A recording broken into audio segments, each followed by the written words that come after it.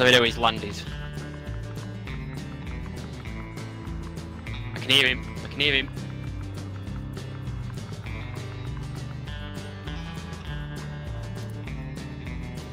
Hi, Zebble1975 and welcome to Elite Dangerous on the Xbox One. This is my DBE. My DBE is used as an exploration ship.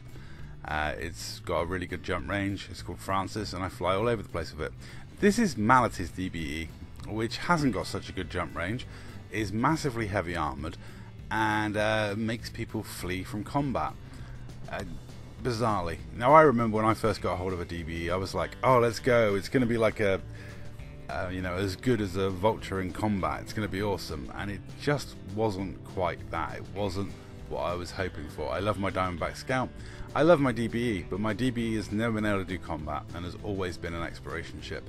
Whereas my Diamondback Scout is one of my favourite PvE ships in the game, one of my favourite little combat ships. I just absolutely adore that little thing. It's great. Uh, but Maloteee has made the Diamondback Explorer work as a combat ship and I thought I'd bring you a host of his clips um, just to show you what he's been getting up to. So he made an FDL uh, rage quit, he hunted down and killed a Corvette. Killed a Corvette in a DBE. It, it's a long video that one, it took a while to, to whittle it down with the weapons he's got on a DBE. And I'll leave you with this clip of him fighting an Anaconda. I'm going to crank the music up to something that Maloteee likes and say, that's all, thank you very much for watching.